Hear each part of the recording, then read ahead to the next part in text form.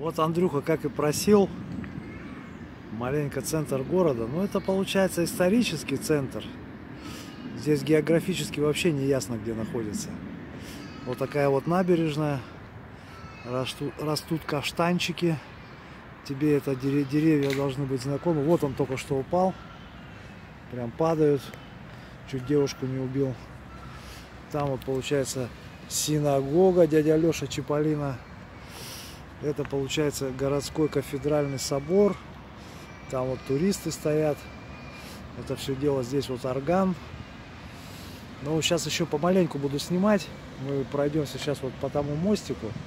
Туда перейдем. Там мы сядем покушать.